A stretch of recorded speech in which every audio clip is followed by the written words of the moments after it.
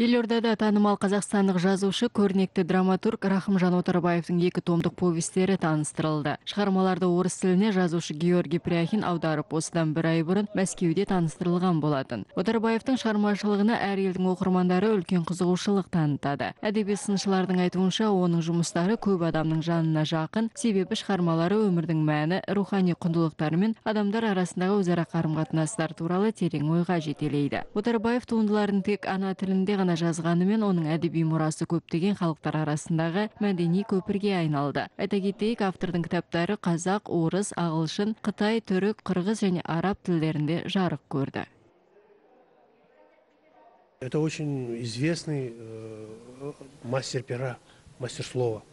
Бұл өте танымал сөз шебері. Ол тек қазақстанда ғана емес шетелде де белгілі қаламгер. Менің ойымша рақымжан отарбаевтың шығармашылығын зерттейтін адамдар одан көптеген құндылықтар табады. Оның шығармашылығында әлі ашылмаған дүниелер жетерлік. Оның тағы бір зерттелмеген тұсы оның драматургиясы. Көптеген талантты сыншылар рақымжан отарбаевтың драматургиясы туралы көп жазды. Менің ойымша оның екінші шығармашылық өмірі ол өмірден озғаннан кейін басталды.